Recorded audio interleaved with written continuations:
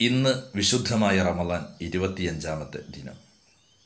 My talk time YouTube channel സംഘടിപ്പിക്കുന്ന അറിവിൻ നിലാവ് എന്ന റമലാൻ സ്പെഷ്യൽ പ്രോഗ്രാമിൽ ഇന്ന് നമ്മളോട് സംസാരിക്കുന്നത് തൊടുപുഴ പഴയരി ജുമാ മസ്ജിദ് ഇമാം റഫീഖ് ബാത്തവി ഉസ്താദ് അവറുകളാണ്. ഹൃദ്യമായി ഈ പ്രോഗ്രാമിലേക്ക് ഉസ്താദ് അവറുകളെ സ്വാഗതം ചെയ്യുന്നു. അസ്സലാമു അലൈക്കും വറഹമത്തല്ലാഹി വബർക്കാത്തു الحمد لله رب العالمين والصلاة والسلام على سيدنا محمد وعلى آله وأصحابه أجمعين أما بعد പ്രിയമുള്ളവരെ സ്വർഗ കവാടങ്ങൾ തുറക്കപ്പെടുകയും നരക കവാടങ്ങൾ അടയ്ക്കപ്പെടുകയും ചെയ്യുമെന്ന് വിശേഷിപ്പിച്ച വിശുദ്ധ റമദാൻ ആ റമദാനിൻ്റെ അവസാന ഘട്ടത്തിലേക്ക് കടന്നിരിക്കുന്ന നാം ഓരോരുത്തരും അള്ളാഹു താല നമുക്ക് വാഗ്ദത്തം ചെയ്ത സ്വർഗപ്രവേശനത്തിന് ഉതകുന്ന കർമ്മങ്ങൾ നമ്മുടെ ജീവിതത്തിൽ എത്രമാത്രം നമുക്ക് ചെയ്യാൻ സാധിച്ചു. നരകത്തിൽ നിന്ന് രക്ഷ നേടുന്നതിനാവശ്യമായ എന്തെല്ലാം മുൻകരുതലുകൾ എടുക്കാൻ സാധിച്ചു എന്ന് വിലയിരുത്തേണ്ട സമയമാണിത്.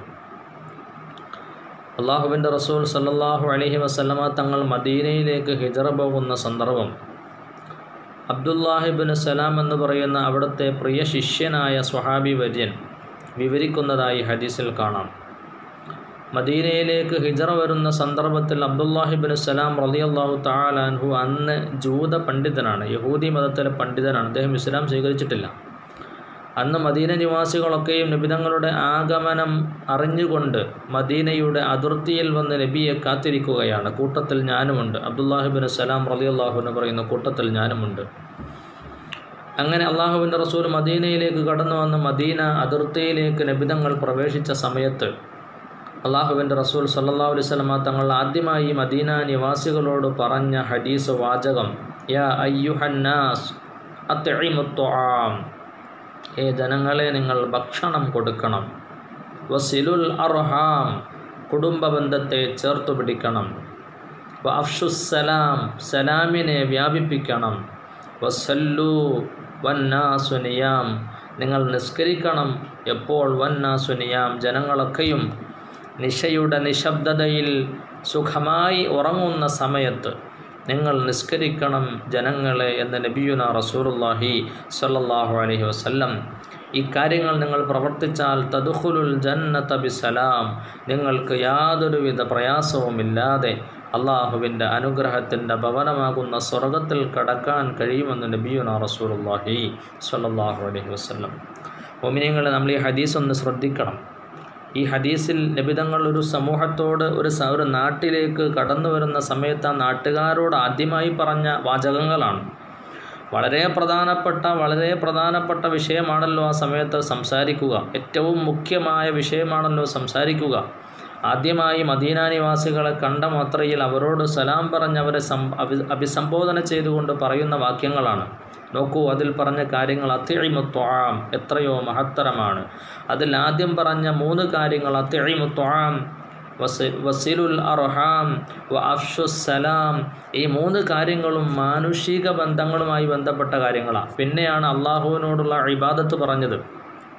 ഭക്ഷണം കൊടുക്കാൻ പറഞ്ഞതും അതുപോലെ തന്നെ കുടുംബ ബന്ധത്തെ ചേർക്കാൻ പറഞ്ഞതും അതുപോലെ തന്നെ സലാമിനെ വ്യാപിപ്പിക്കാൻ പറഞ്ഞതുമൊക്കെ മനുഷ്യരോടുള്ള പെരുമാറ്റ മര്യാദകളാണ് പറഞ്ഞത് അത്യഴിമത്വ വിശന്ന മനുഷ്യൻ വിശക്കുന്ന വിശന്ന വിശപ്പിന്റെ പ്രയാസവും കട്ടതയും അനുഭവിക്കുന്ന ഒരു സഹോദരനെ കണ്ടുമുട്ടിയാൽ കയ്യിലുള്ളത് കൊടുത്തവന്റെ വിശപ്പകറ്റുവാൻ അവന് ഭക്ഷണം കൊടുക്കുവാൻ അതല്ലെങ്കിൽ നിന്റെ വീട്ടിൽ ഒരു സ്പെഷ്യൽ പരിപാടി സംഘടിപ്പിച്ചാൽ അതിലേക്ക് നിന്റെ സഹോദരനെ കൂടി ക്ഷണിച്ച് ആ സ്പെഷ്യൽ വിഭവത്തിന്റെ ഒരു പങ്കവന് കൊടുക്കുവാൻ ഭക്ഷണം കൊടുക്കുവാൻ നബി സല്ലാ അലൈഹി സ്വലമ തങ്ങൾ പഠിപ്പിക്കുന്നു.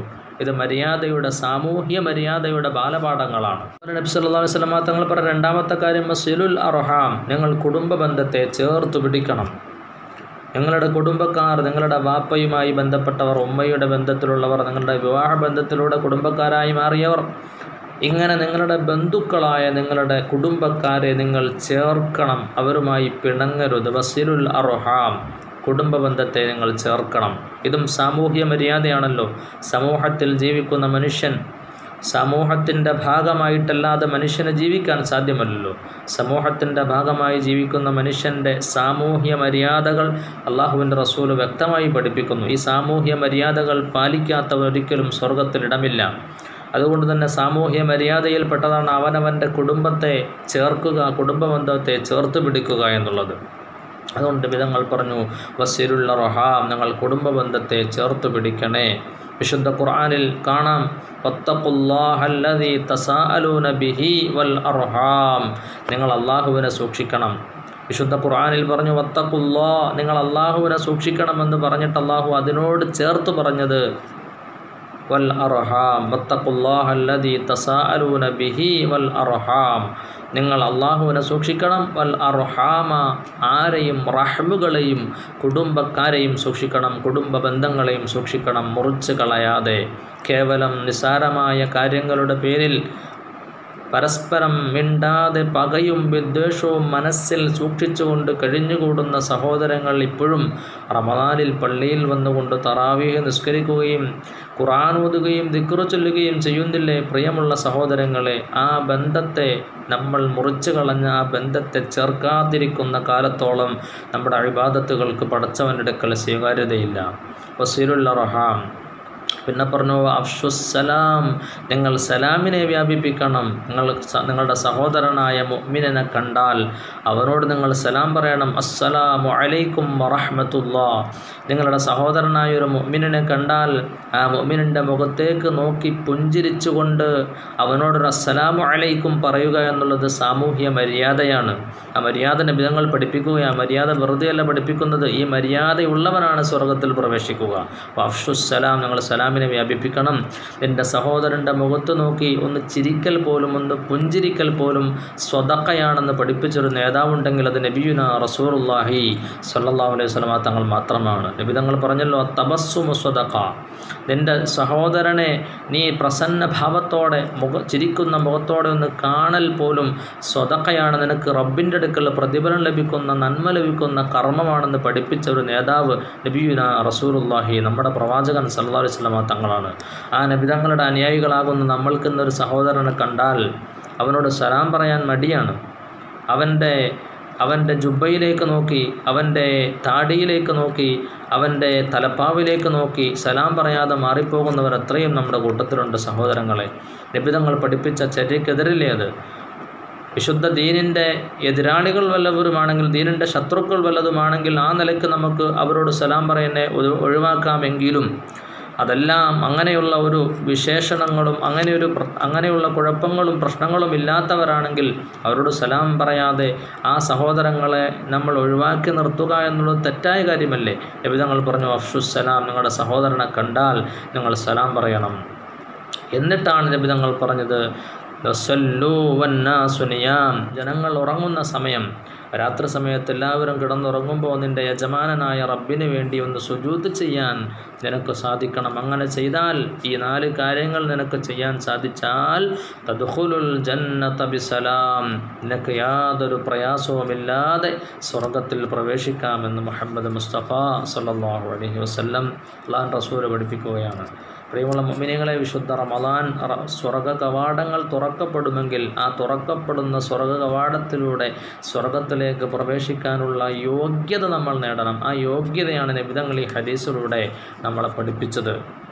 ആ യോഗ്യത നമ്മൾ നേടിയെടുക്കാൻ നമ്മൾ പരിശ്രമിക്കണം. അള്ളാഹു നമ്മെ ഏവരെയും അനുഗ്രഹിക്കുമാറാകട്ടെ. മഹാനായ ഉമറുൽ ഫാറൂഖ് റളിയല്ലാഹു അൻഹു മനുഷ്യരോടുള്ള ബാധ്യത വലുതാണ്. മഹാനായ ഉമറുൽ ഫാറൂഖ് റളിയല്ലാഹു താലാൻഹു ഒരു സദസ്സിലിരുന്നു കൊണ്ട് ഉറങ്ങുന്നത് കണ്ട ഒരു ഒരു അനുയായി ചോദിച്ചു കൈഫത്ത് യാ അമീറൽ മിനി നല തനാമു? ഏ മിനിയങ്ങളുടെ അമീറായ അല്ലയോ ഉമർ അലിയ ഉമറെ റളിയല്ലാഹു അൻ അങ്ങ് ഉറങ്ങുകയാണോ? ആ തനാമു അങ്ങ് ഉറങ്ങുകയാണോ? എന്ന് ചോദിച്ച സമയത്ത് ഉമറുൽ ഫാറൂഖ് റളിയല്ലാഹുവിന് പറഞ്ഞ മറുപടി പ്രിയമുള്ളവരെ ചിന്തിക്കേണ്ടതാണ്. ഖൈഫ അനാമു കൈഫ അനാമു എനിക്കെങ്ങനെ ഉറങ്ങാൻ കഴിയും? എന്നും തുബിൻ നഹാരി ഹുഖൂഖന്നാസി പകൽ ഞാൻ കിടന്നുറങ്ങിയാൽ ഞാനൊരു ഒരു സമൂഹത്തിന്റെ ഒരു സമൂഹത്തിന്റെ നേതാവാണ് ഞാൻ ഒരു സമൂഹത്തിന്റെ ഒരു സമൂഹത്തിന്റെ നായകനാണ് ഞാൻ. അതുകൊണ്ട് പകൽ സമയത്ത് ഞാൻ കിടന്നുറങ്ങിയാൽ ആ സമൂഹത്തിനോട് ഞാൻ ചെയ്തു കൊടുക്കേണ്ട അവകാശങ്ങൾ ഒരുപാടുണ്ട്. ആ അവകാശങ്ങൾ ഞാൻ വീഴ്ച വരുത്തിയവനാകും. ഞാൻ രാത്രിയിൽ കിടന്നുറങ്ങിയാൽ എന്റെ യജമാനനായ എന്റെ യജമാനനായ റബ്ബിനോടുള്ള ഹക്കിനെ ഞാൻ പാഴാക്കിയവനാകും. അതുകൊണ്ട് എനിക്ക് എപ്പോഴാണ് ഉറങ്ങാൻ കഴിയുക? പകൽ ഉറങ്ങാൻ എനിക്ക് കഴിയില്ല. കാരണം ഞാൻ പകലിൽ ഒരു വലിയ സമൂഹത്തിന്റെ ഒരു വലിയ സമൂഹത്തിന്റെ ഉത്തരവാദിത്തം എടുത്തെന്റെ തലയിൽ വെച്ചവനാണ്. അതുകൊണ്ട് പകൽ സമയത്ത് ഉറങ്ങാൻ എനിക്ക് സാധ്യമല്ല.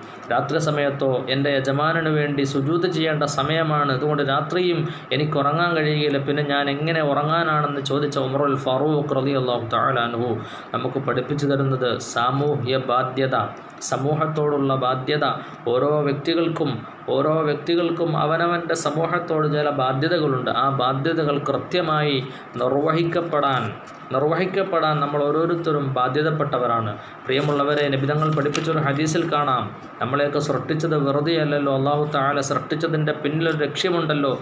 ആ ലക്ഷ്യത്തെ നമ്മൾ തിരിച്ചറിയുന്നവരാകണമല്ലോ. നിബിതങ്ങൾ പഠിപ്പിച്ചൊരു ഹദീസിൽ കാണാം അല ലൈത്തൽ ഖൽഖ ലം യുഹുലഖു ജനങ്ങളെയൊന്നും സൃഷ്ടികളെയൊന്നും സൃഷ്ടിക്കപ്പെടാതിരുന്നുവെങ്കിൽ ഫൈദാ ഖുലിഖു ലൈത്തഹും അലിമു ലിമാ ഖുലിഖു ലഹു.